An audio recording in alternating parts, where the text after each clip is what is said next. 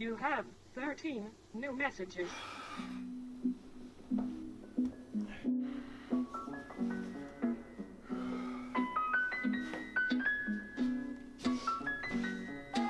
First new message today at 8:42 a.m.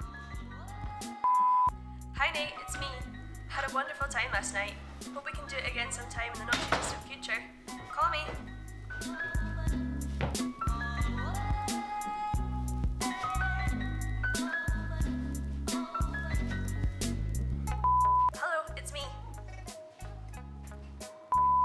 Forgot to say my name. It's me.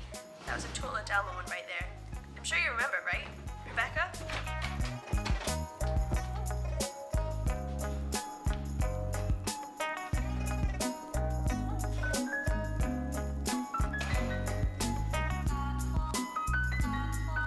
You have five new messages.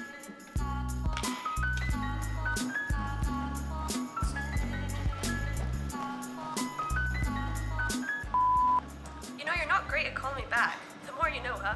Anyway, get back to me when you can. okay, love you. Shit, I mean, um, to call me back. Love you to call me back. That's it. Bye.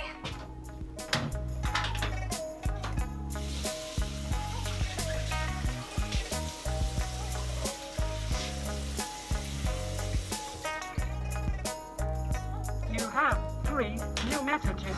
To listen, please press 1.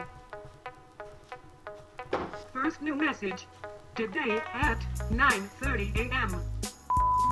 Me again. I told my parents all about you, and they'd love to meet the guy I'm seeing. They're free Friday between 4 till 6, and then if not, we could always try dinner at the weekend. Anytime you pick, really. Or 5 till 6.30, Thursday the week after. That works. Let me know. Call me.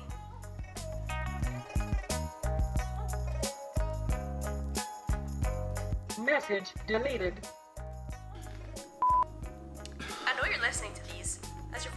Isn't full.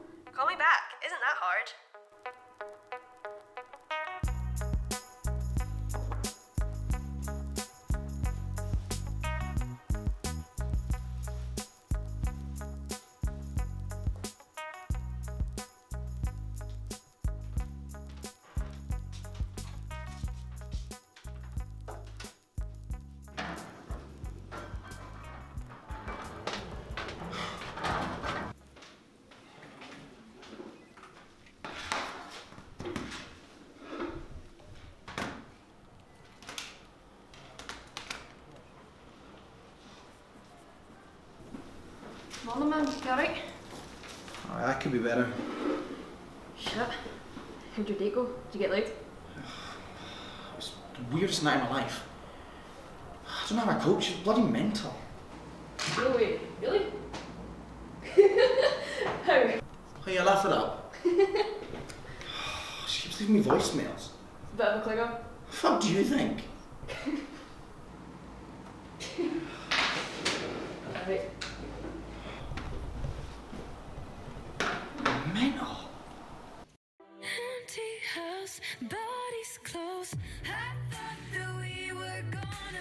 You have no messages. He'll call Becca. Don't worry, he's a guy. Plenty more fish in the sea. He's my soulmate, Kelly. Of course he'll call. He's the Brad to my Angelina. Becca, you do know they're divorced, right?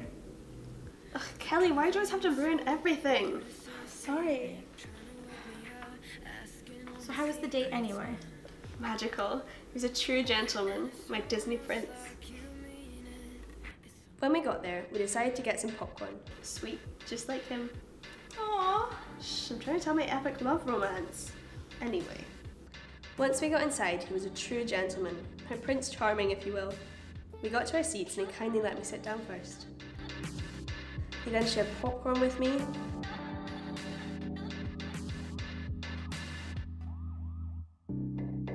Sitting in a taxi. When the movie started, we laughed, got scared, even cried. By the end, we were in each other's arms. Now you're shouting from the left seat. You take your hand off my thigh, and I wish I could explain, but you say I lie. The truth is, I got to. He leaned in, put puts his hands through my hair, his eyes gazed into mine.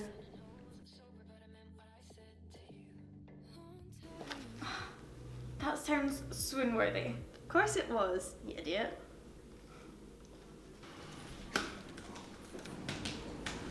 So was it really that bad then? Don't even start. So we get inside and we find our seats.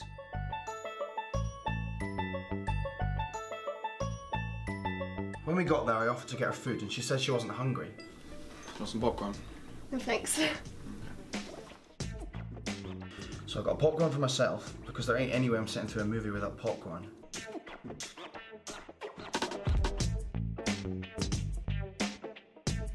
Remember when I said she wasn't hungry? Liar.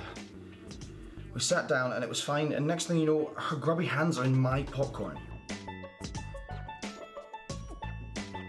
I didn't know what to do or say, but she really did go to town on the food she supposedly didn't even want.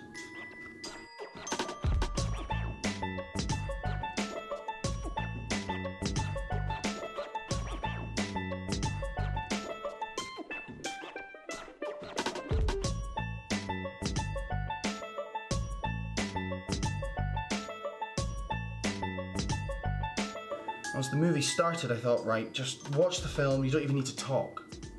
Next thing you know, she goes through almost every emotion known to man and ends up bloody blubbering in my arms.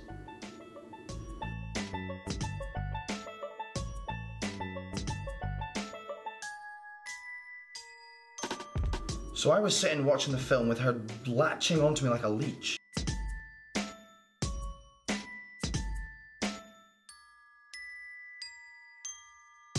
And she looks up at me and I can see my popcorn in her hair.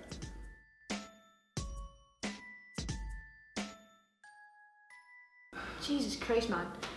Surely, overall, it wasn't that bad. Oh, you should expect your wedding invitation in the post any day.